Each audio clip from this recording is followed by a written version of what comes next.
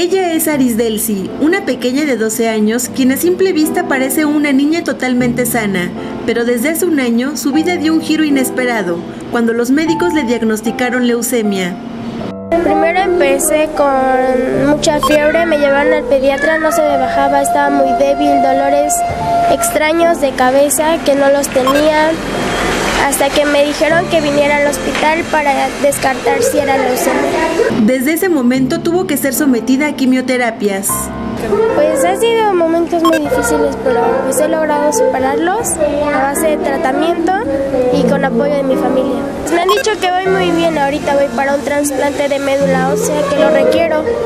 Arisdelsi no es el único caso. Como ella existen al menos 566 niños que atiende el Instituto Materno Infantil del Estado de México.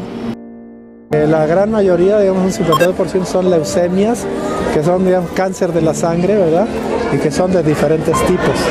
Leucemias linfocíticas, linfoblásticas, mielocíticas, o sea, son de varios tipos. Y el resto son tumores sólidos, ¿verdad? De hígado, de cerebro, de riñón, etc.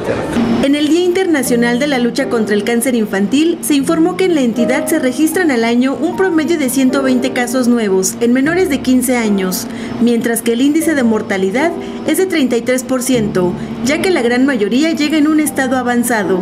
Para atender este tipo de enfermedad se requieren anualmente de alrededor de 500 millones de pesos, además de la ayuda de algunas fundaciones. Eh, contamos con el presupuesto propio, pero además tenemos ayuda de varias fundaciones, ¿sí? que ayudan a los niños con cáncer, que lo vamos a ver, que entre ellos es AMAN, Estrecha tu mano, Casa de la Amistad y que todos, y Fundación ANA que nos dan apoyo para ese tipo de, pacientes.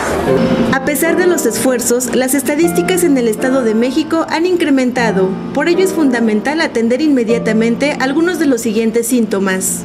Moretones repentinos, fiebre frecuente, cansancio o sangrado en la nariz, así como crecimiento de los ganglios. La recomendación es acudir inmediatamente a un médico y con ello destacar cualquier posibilidad que se asocie con cáncer infantil. Con imágenes de Jesús Gil, informó para Nuestro Mundo Karina López.